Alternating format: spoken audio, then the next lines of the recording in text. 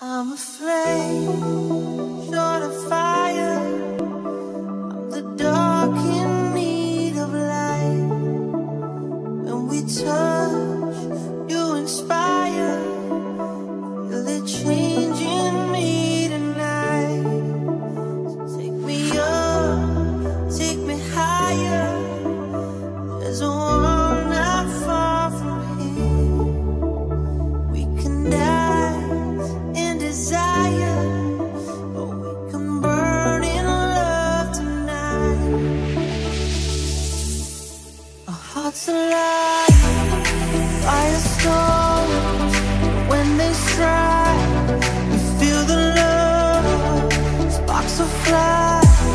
Ignite